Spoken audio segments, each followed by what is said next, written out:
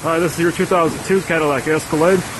And up here on your tires, you are down to the wear bar on all four of your tires.